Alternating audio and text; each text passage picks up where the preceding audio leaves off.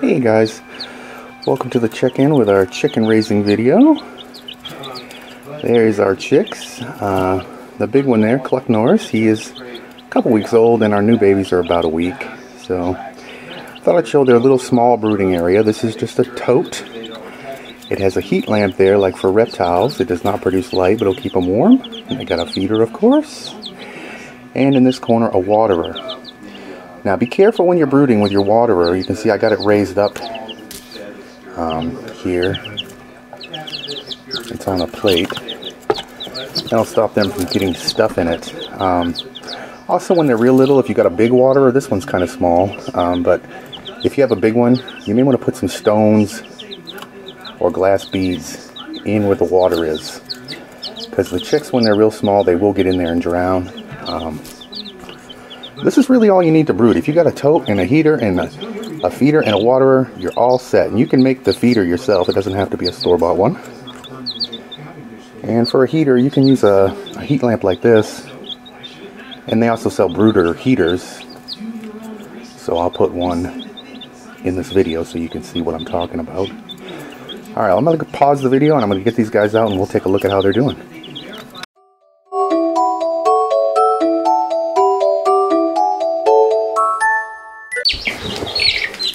Okay, so here's our pal Independence, born on Independence Day.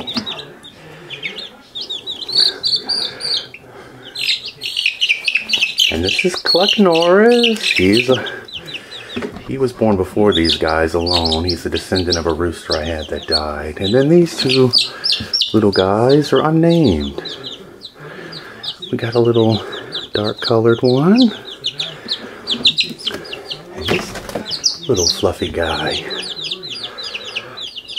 So if you have any idea for names for this guy and the dark one, let me know. Well, that's what they're looking like now.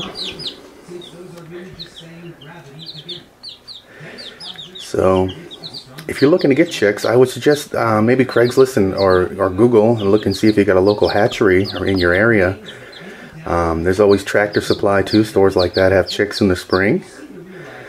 Um, you can get them through the mail too, but just be advised that uh, when you get them through the mail, uh, be ready when they arrive. Uh, make sure you got the brooder warmed up and food and water.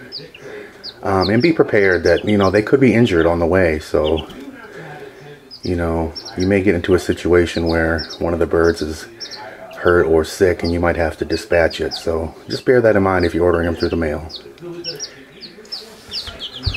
All right, guys. We'll see you in about a week or so. We'll check in on these guys and um, talk some more about chicken raising.